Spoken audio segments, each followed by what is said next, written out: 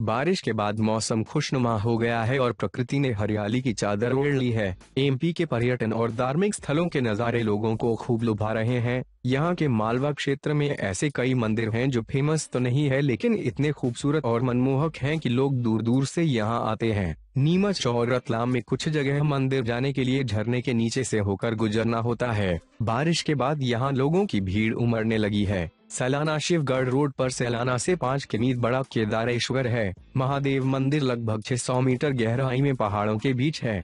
यहाँ तीन मनमोहक झरने हैं। मंदिर का रास्ता इन झरनों के बीच से होकर गुजरता है। बारिश के बाद ये झरने पूरी बहार पर हैं। झरनों का पानी मंदिर के सामने बने कुंड में गिर रहा है। कहते हैं मंदिर करीब 300 साल पुराना है। यहाँ की एक रियासत के राजा ने इस मंदिर का निर्माण करवाया था।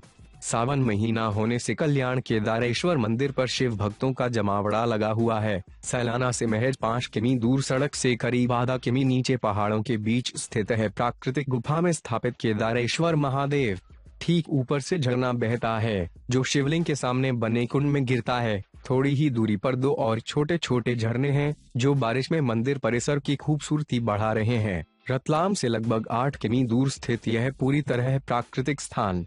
छोटी नदी का पानी लगभग 10 मीटर ऊंचाई से गिरता है। 15 मीटर चौड़ाई में गिरते झरने को देखने का अपना ही आनंद है। इसी तरह शहर से करीब आठ किमी दूर जामन पाटली में हाल ही में हुई बारिश के बाद खूबसूरत नज़ारा दिख रहा है। जिला मुख्यालय से 45 किमी दूर मनासा तहसील के कमजाडा से तीन किमी दूर भरडादो का झरना भी पर्यटकों के लिए आकर्षण का केंद्र है। यहाँ तीन नदियों का संगम होता है।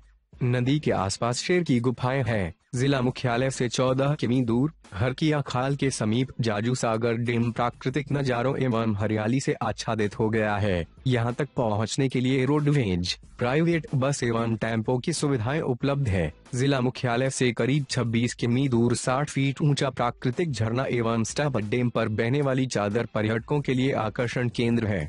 यहाँ माँ भवन माता विराजित है, जिनके दर्शन के लिए लोग दूर दूर से आते हैं। आसपास शेर की गुफाएँ हैं। जिला मुख्यालय से 14 किमी दूर, हरकिया खाल के समीप जाजू सागर डेम प्राकृतिक नजारों एवं हरियाली से आच्छादित हो गया है। यहाँ तक पहुँचने के लिए रोडवेज़, प्राइवेट बस एवं टेंपो की सुविधाएँ उपलब्ध है। जिला मुख्यालय से करीब 26 किमी दूर 60 फीट ऊँचा प्राकृतिक झरना एवं स्टेप डेम पर बहने वाली चादर पर्यटकों के लिए आकर्षण केंद्र है।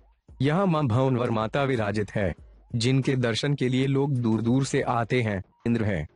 यहाँ माँ भवन माता विराजित है, जिनके दर्शन के लिए लोग दूर दूर से आते हैं, दूर से आते हैं।